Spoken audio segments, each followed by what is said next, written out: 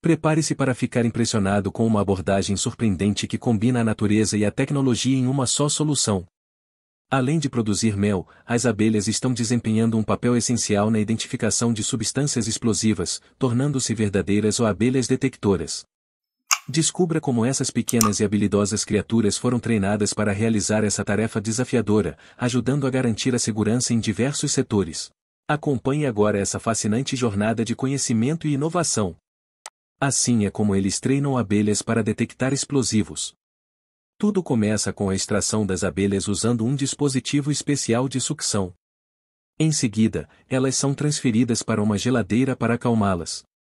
Uma vez que estejam calmas, elas são colocadas em um recipiente que as distribui e coloca um dispositivo especial de fixação nelas.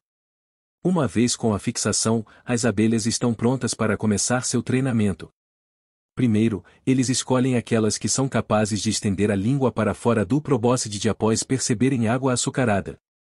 Isso é conhecido como o reflexo de extensão do probóscide de Oupir. Em seguida, eles procedem liberando um vapor com características distintivas dos explosivos a cada 6 segundos e recompensando-as com água açucarada nos últimos 3 segundos.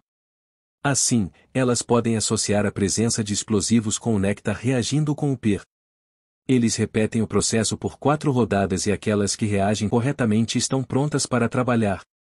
A detecção de explosivos é baseada em colocar seis abelhas em um cartucho que vai em um equipamento especial com câmeras para ver se elas fazem o PIR ao detectar as partículas, ou também usam uma série de luzes infravermelhas para determinar essa ação. Em seguida, uma tela projeta a resposta, eles carregam o cartucho de abelhas no dispositivo especial e ele suga uma amostra de ar com possíveis partículas explosivas. O técnico pressiona um botão para o ar entrar e as abelhas analisam a amostra enquanto as luzes infravermelhas determinam a resposta que será projetada na tela. Algo muito interessante é que em cada cartucho você pode colocar abelhas treinadas para responder a certas partículas específicas e, assim, determinar várias substâncias.